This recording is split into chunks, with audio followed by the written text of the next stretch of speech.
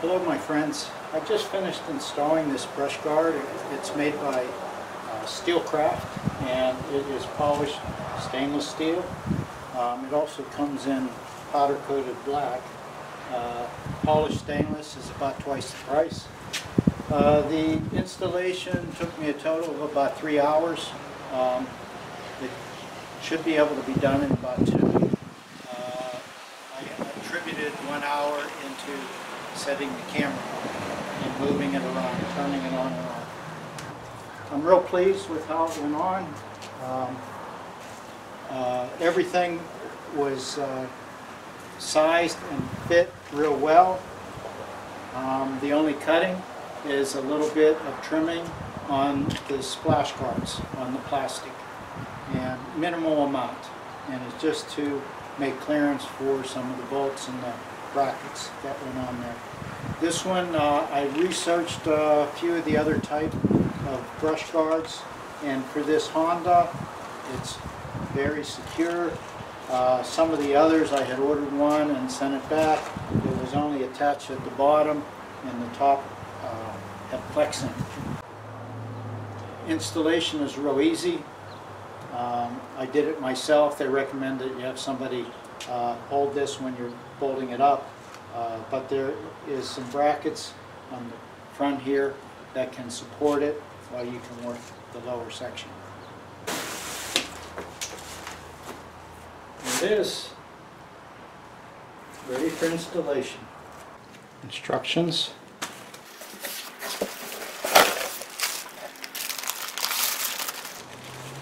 Mounting brackets. The left and the right.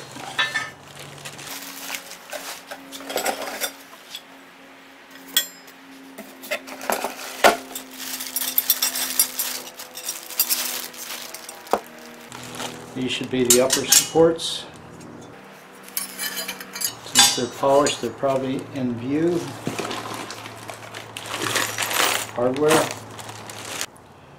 Um, I have it laid out here and on all these pieces you can see here they have the, for the left and the right but uh, using left and right is not a good method. They have here a P for passenger and D for driver. So all the pieces are stamped. See right there's a D. There's a D. P for passenger. And again, P. So um, left and right does not work on the vehicle depending on which way you're facing.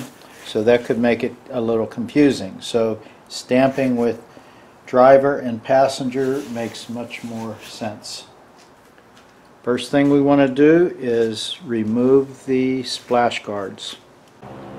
Now to remove the splash guard, they are held on with these buttons. And to remove them, you take a small screwdriver, you insert it inside or underneath that clip and pry this back and pull it till it's fully extended. That allows this expansion part to release and then you can pull your splash guard off. To work on the underside of the truck I had to put it up on the ramps and I got jack stands underneath. To remove this plastic guard it was a real pain. There was nine of these plastic plugs. Those were easy to get out. And there's eight of these. These are uh, 10 millimeter uh, screws, bolts. Two long ones. And these were the ones that were tough. Phillips screws. The one I was already getting ready to strip the Phillips end out, but I ended up beating on the end of it, or beating on it with a ball peen hammer to loosen the rust that was on it and uh, also used PB Blaster on it. So these two were the tough ones. The rest were okay. This inner plastic shield has to come off.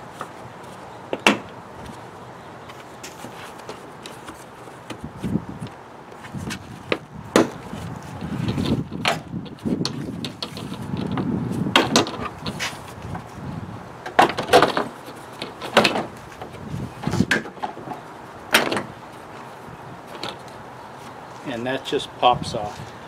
Okay, we need access to these two bolts here. So this uh, filter or air vent is in the way. So we need to temporarily remove this. And they're held with these plastic clips. There's a Phillips slot in the top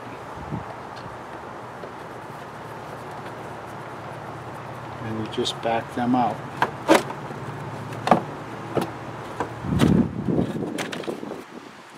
Okay, now I have access to this. You can leave this set out of the way, but there's your access. Okay, I'm under the passenger side of the vehicle and there's this frame bracket with three bolts. This bolt here on the inside is going to be loosened, removed, and this support bracket will go on here.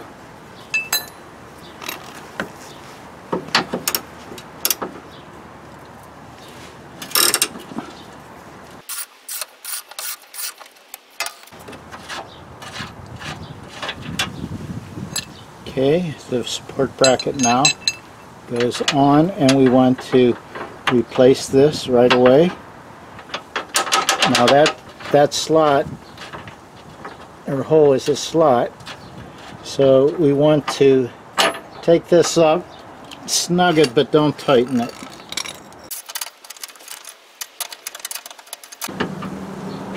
okay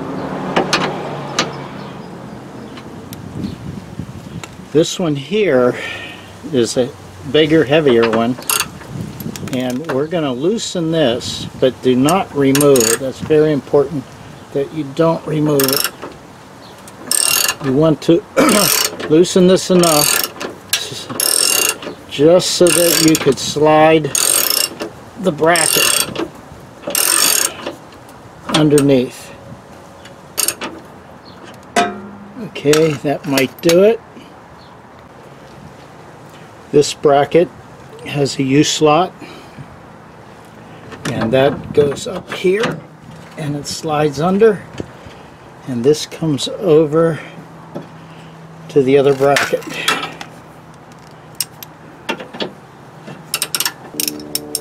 Now we run this one back and run it tight. Before you get it too tight you want to secure the bolts in here Okay, you need a washer. Another washer. Lock washer. And then the nut.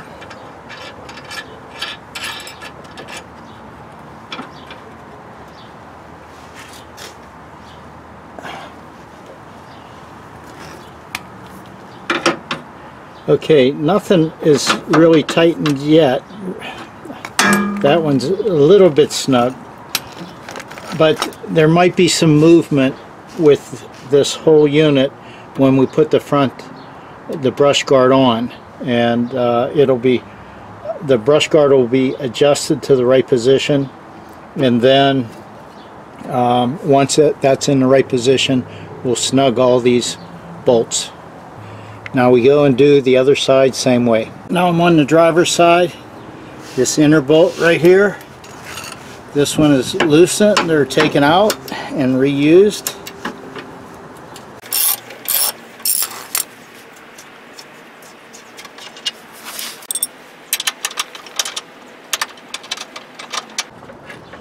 And again, all these parts have a stamp on them with either a D or a P standing for driver side or passenger side.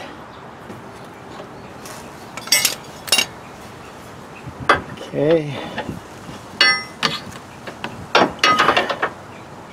It'll be like that.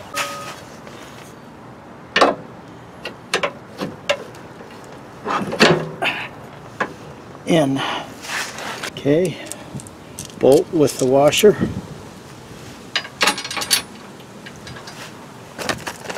Washer.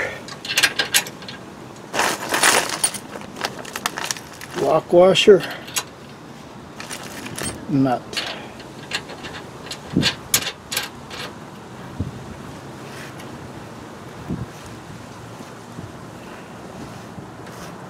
Okay, snug.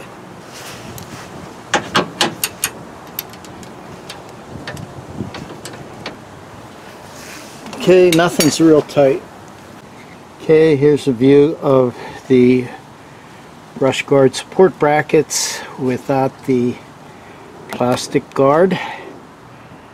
Here's the dri driver's side and there is the passenger side.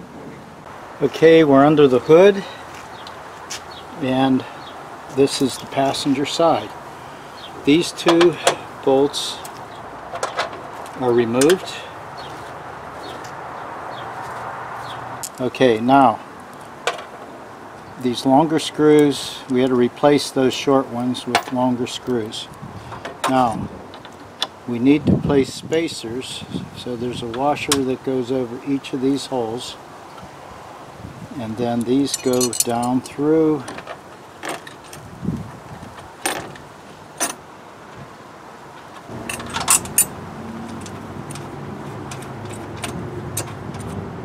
and with this there is movement so we want to take these down and just snug them up. They'll have to be positioned when the grill guard goes up and we do the same to the other side now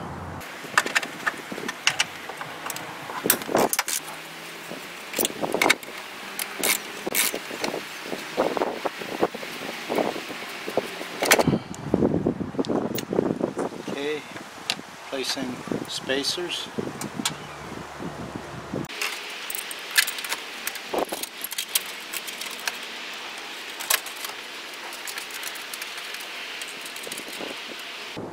These should have a lock washer.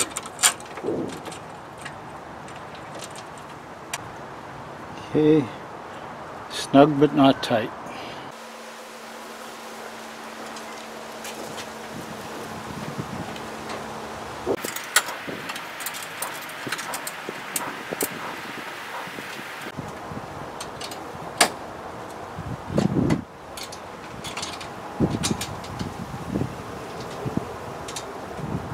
This is to keep from slipping off.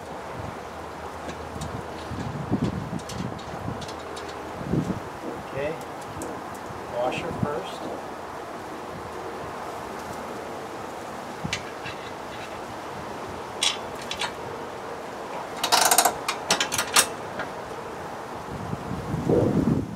Washer with bolt. Lock washer and then nut. Okay, second side.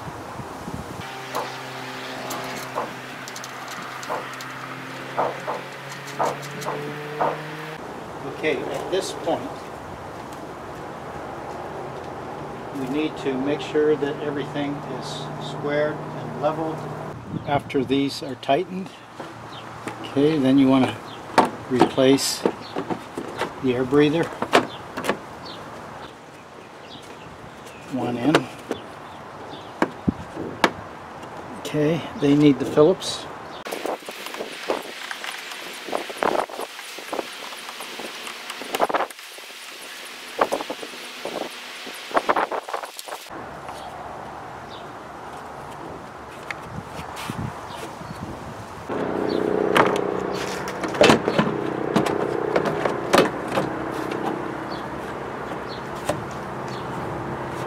So I'm going to have to cut out a little area here so it'll allow it to drop down.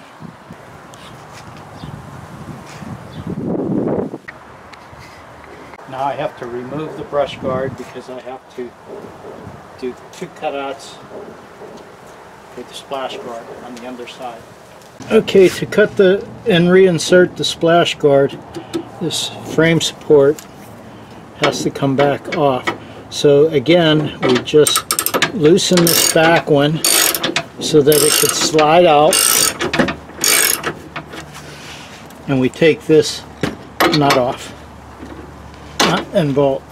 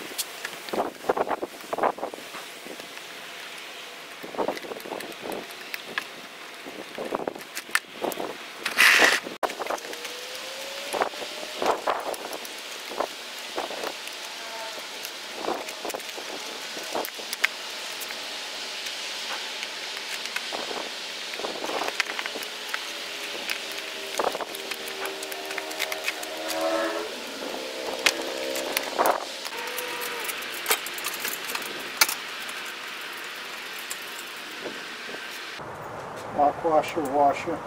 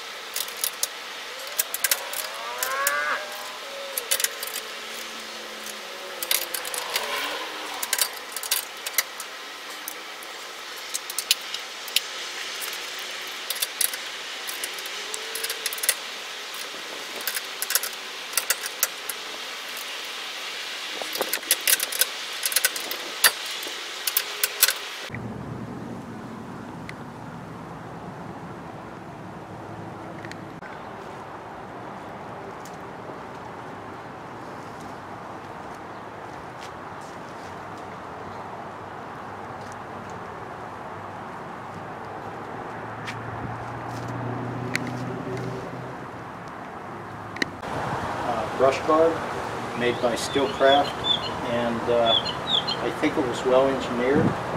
Um, one of the concerns that I had was that this might interfere with some of the sensors and it's not. So everything's good in that area. The other thing, this came pre-drilled for extra lights and what I did was